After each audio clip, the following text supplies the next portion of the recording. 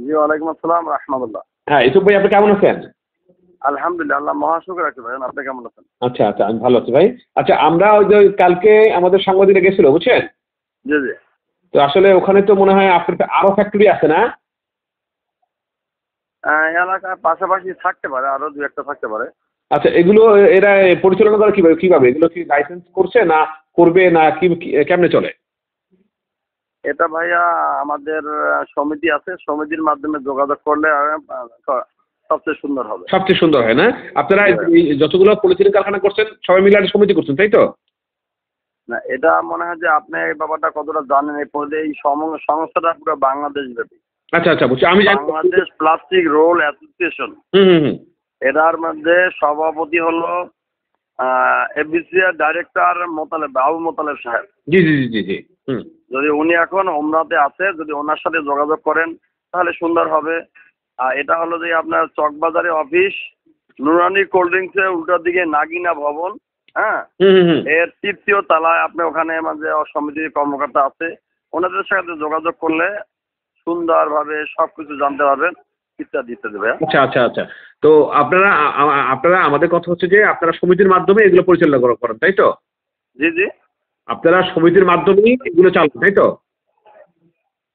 আমাদের অ্যাসোসিয়েশন আছে অ্যাসোসিয়েশনের মাধ্যমে অ্যাসোসিয়েশন তো আমাদের কর্ণধার এক কথায়। হ্যাঁ হ্যাঁ ও মানে আমার কথা হচ্ছে যে আপনারা অ্যাসোসিয়েশনের মাধ্যমেই এটা পরিচালনা করেন তাই তো?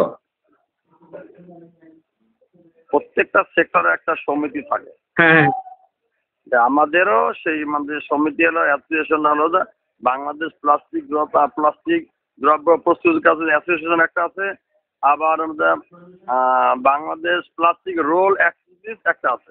আচ্ছা এখন প্রশ্ন হচ্ছে প্রশ্নটা হচ্ছে যে আমি যদি একটা কারখানা করতে চাই তাহলে আমরা ওই সমিতির সদস্য হলেই হবে তাই তো?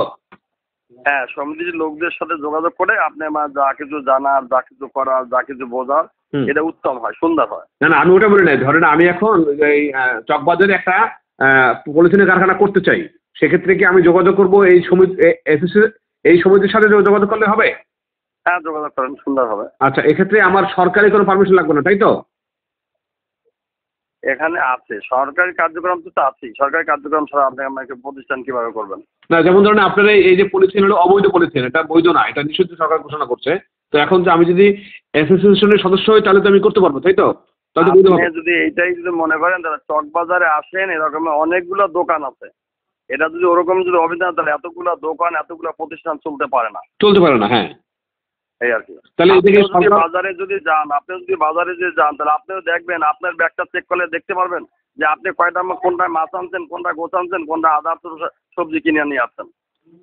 তাহলে তো আপনারা আপনারা এটা সমাজসেবা করছেন মনে হয় যে সমাজের উপকার করতেছেন তাই তো? ভাইয়া করতেছি ভাই আমরাও কাজ করতেছি শিখছি এটা এটাই করতেছি এটা আর কি এতটুকু ভাইয়া এতে আর আমি এটা এটা আপনার বৈধ বা অবৈধ এগুলো আপনাদের দেখার দরকার নেই তাই তো? ভাইয়া এটা তো গভর্নমেন্টের জন্য যথেষ্ট আর কি। গভর্নমেন্ট বিকল্প কিছু দিতে পারে নাই। আর আমাদের সমিতির লোকজন আছে, এদের সাথে যোগাযোগ করেন তাহলে সুন্দর হবে ভাই, লক্ষ্মী ভাই আমার। আচ্ছা আচ্ছা আচ্ছা। আচ্ছা ঠিক আছে, ঠিক- ঠিক আছে